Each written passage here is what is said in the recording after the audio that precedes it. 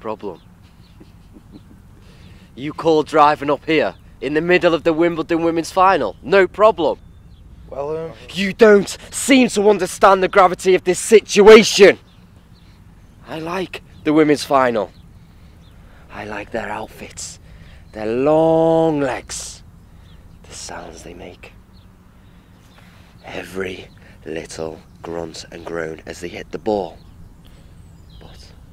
More importantly than that, I like watching the game of tennis. y- yes, boss. Don't get me wrong. I don't want to drive all the way down to London to watch it live. Why would I want to go down to that dump? But I like watching it on the TV. It's closer, more intimate. Especially since I've got high definition. You can see the little beads of sweat trickle down each of their smooth brows. sort of like the sweat on your brow. But doesn't seem to have the same effect on me when I look at you. Maybe it's the air up here.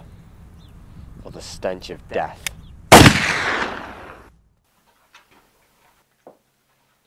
What are you doing, Tom? You can't just walk in here and help yourself. You don't live here anymore. Sorry, I didn't think you'd. Are you alright? Yeah?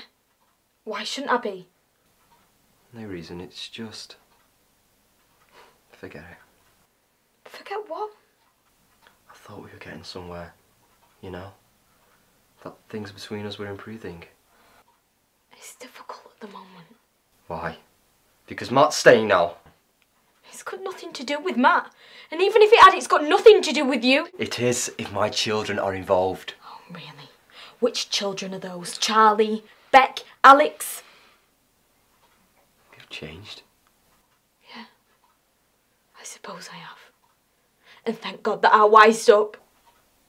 Are you the reason Matt's staying? I don't have to answer that. You already have. He's not good enough for you. And you are? For God's sake, Anna. I love you. Remember how good it was between us? Please, just give us another chance. I'm sorry, Tom. I won't give up on us.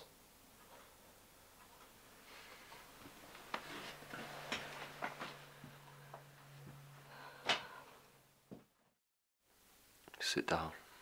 I've got something I need to say.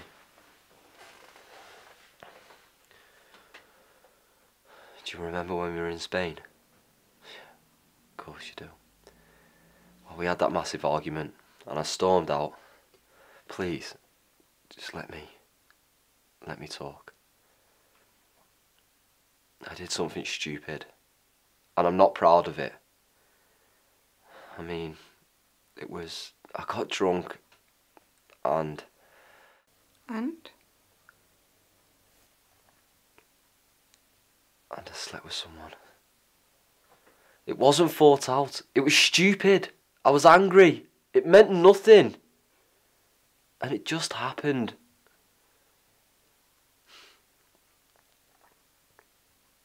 I felt you had to know. You needed to know. I'm sorry. I mean, really sorry.